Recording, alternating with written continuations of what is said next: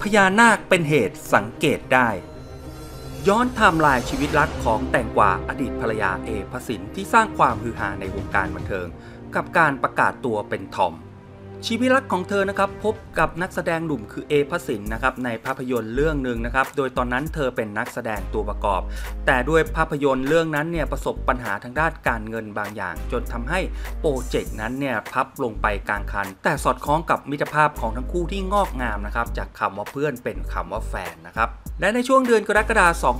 2558นะครับทำเอาวงการบันเทิงถึงกับตะลึงหนักเมื่อเอพสินขณะนั้นเป็นดาวร้ายของทางช่อง 3 ประกาศมีภรรยาเป็นที่เรียบร้อยแล้ว ชื่อแตงกวาจีรพร สาวสวยน่ารักอายุห่างกันถึง 22 ปี พร้อมกับจัดเซอร์ไพรส์นะครับ รอบ 2 ประกาศตัวเป็นคุณพ่อด้วย เพราะขณะนั้นเนี่ยภรรยากำลังอุ้มท้องอยู่นะครับ ชื่อว่าน้องเลโก้นะครับ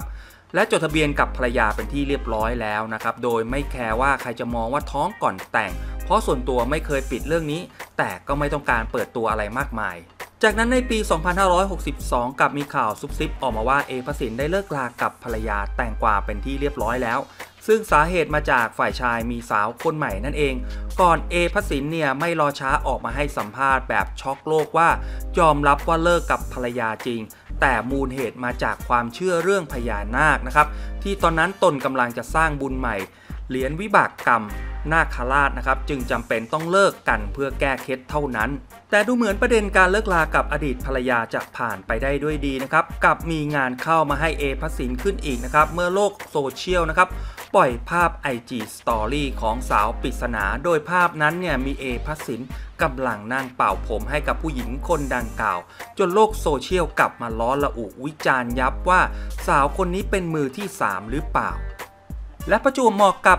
สาวแตงกวาในโพสต์ข้อความชวนสงสัยว่ายินดีด้วยสวยดี ก่อนเอพระสินกับแตงกวาออกมาให้สัมภาษณ์ผ่านรายการหนึ่งนะครับ สยบข่าวเมาส์ว่า สาวในภาพไม่ใช่มือที่ 3 ซึ่งสาเหตุที่เลิกลาก็มาจากที่ทัศนคติไม่ตรงกันและที่ผ่านมาฝ่ายชายก็ไม่เคยนอกใจ และล่าสุดนะครับก็กลับมีเรื่องฮือฮาให้กับวงการบันเทิงอีกครั้งนะครับ เมื่อมีภาพเอพระสินกับแตงกวาอดีตภรรยาอยู่ในบ้านเดียวกันทำให้หลายคนสงสัยว่าทั้งคู่รีเทิร์นกันหรือเปล่านะครับ ซึ่งสาวแตงกวาก็ชี้แจงผ่านอินสตาแกรมของตัวเองนะครับว่าเราสองคนเนี่ยอยู่ในฐานะพ่อและแม่ของลูกชาย เป็นเพื่อนตายกันไปแล้ว พร้อมกับปรับลุคของสาวสวยผมยาวเนี่ยมาหั่นผมสั้นในลุคที่สุดเท่ และแต่งตัวทะมักทะแมง พร้อมประกาศตอนนี้เธอกลายเป็นสาวหล่อไปแล้วครับ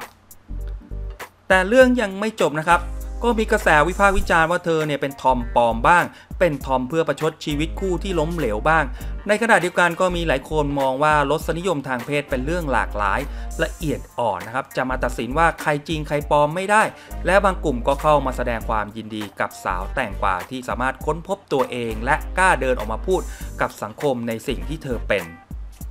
แต่ที่แน่ๆนะครับเจอคนหลอกกว่าเอพัสินแล้วนั่นก็คืออดีตภรรยา ที่ตอนนี้สาวน้อยสาวใหญ่ถึงกับใจละลายกับความหล่อระดับโอปป้าเลยเลยทีเดียวนะครับ